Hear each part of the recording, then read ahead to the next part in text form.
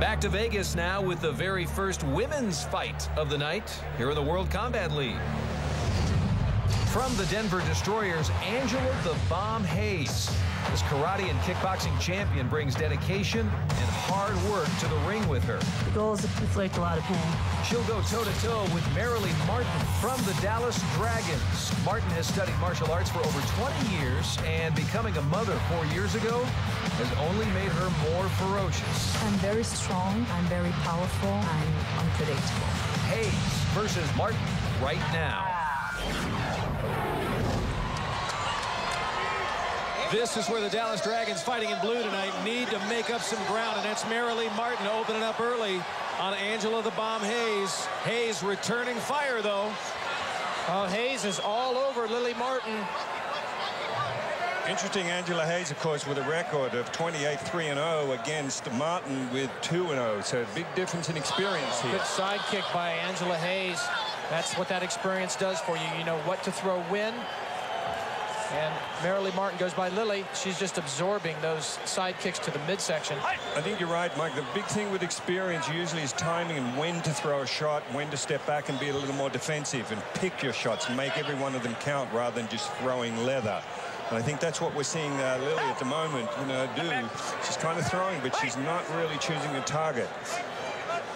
Both these fighters close, closely matched in, in weight. Hayes half a pound heavier than Martin trading heavy punches. And for Dallas, they sorely could use a knockout because 15 points would put them right back in the game. Denver leading now 57-35. Denver fighting in red, Dallas in blue. Nice left kick, a round kick then to the head from Denver.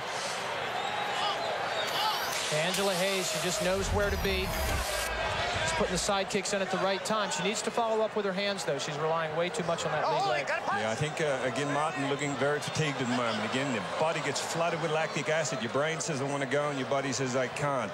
And that's what the stamina is all about in this sort of match. Lily Martin, 36 years old. Angela Hayes, 31. Both fighters in good condition, but Martin has got to make up a lot of ground. She's got to keep going forward. She can't get boxed in like Hayes is doing to her right now.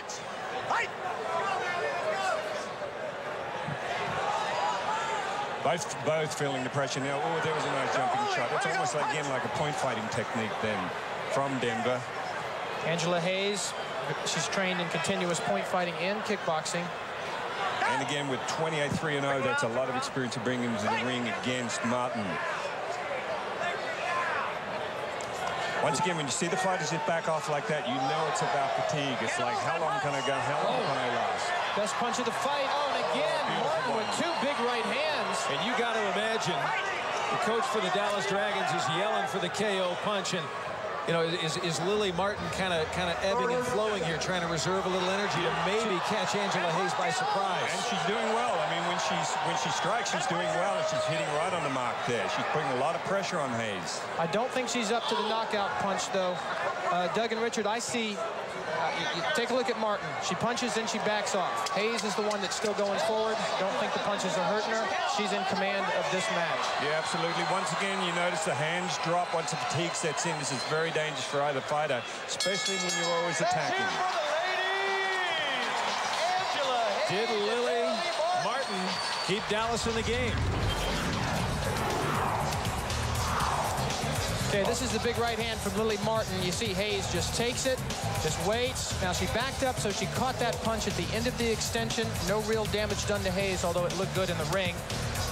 And here's a different angle at the same look, but I don't think it hurt Hayes, Richard. No, it wasn't a lot. I mean, uh, she rode that punch a little bit, so didn't cut the full force of the punch, but it was a good shot. It was well placed.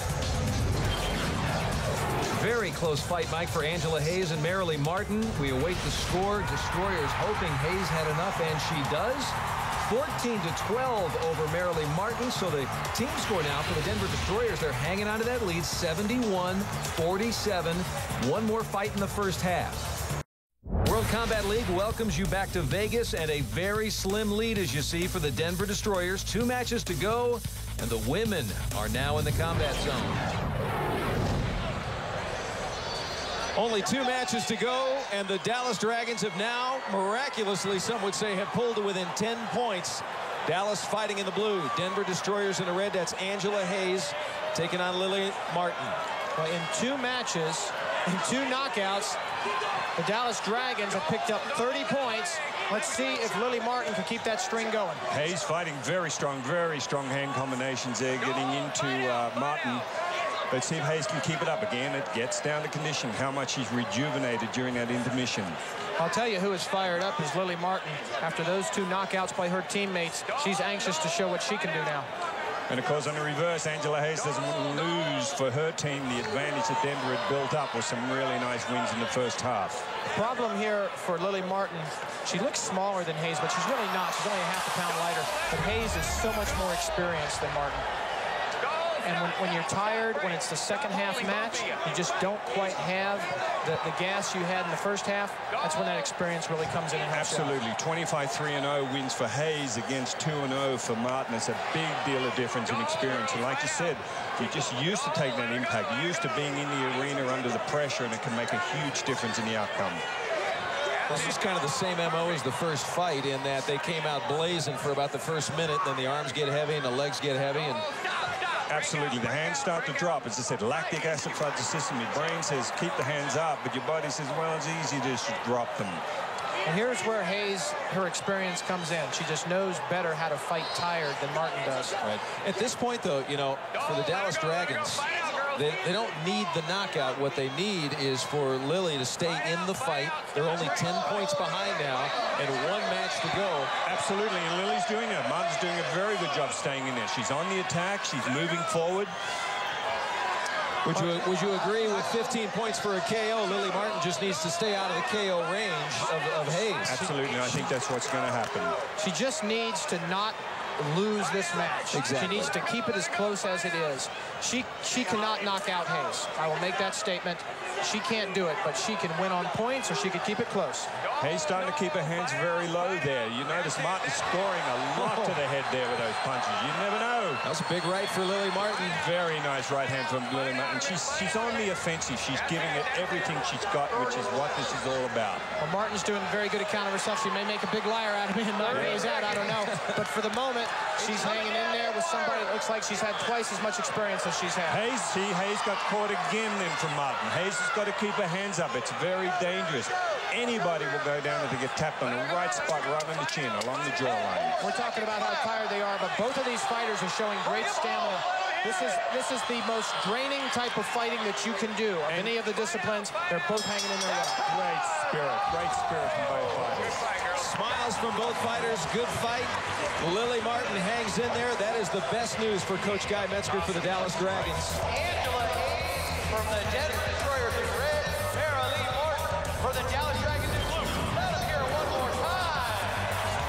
did what she had to do. She just kept the, kept the fight close. That was her best combination of the fight with those two right hands. Her team should be proud of her, Richard. Absolutely. Fantastic, fantastic hit from both athletes. These are both warriors in there. The way she took that roundhouse kick just then and, and just shook it off. It's the team spirit. Boy, each team desperately needs a win at this point. Angela Hayes, Marilyn Martin, great fight, very close. And it is Martin with the win by only one point, 14-13, closing the team score gap now. It's only nine points. Dragons a deficit to the Destroyers with one match to go.